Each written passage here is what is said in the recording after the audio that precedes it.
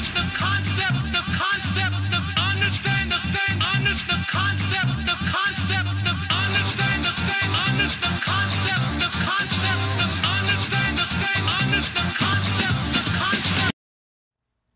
Hey guys, it's Grace Boy 72375, and I just wanted to wish you guys a happy holiday season because, well, one, it just seems like a good idea, and two, there's been a lot of stuff that has been going on in this country lately. The Clackamas Town Center shooting, the Connecticut shooting. Unfortunately, it happens. I mean, you know, and also, you know, this has nothing to do with this video, but we do need more gun control.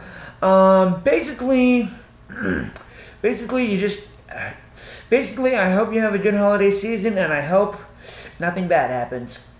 Um, this is Crazy Boy 72375 signing off. Peace.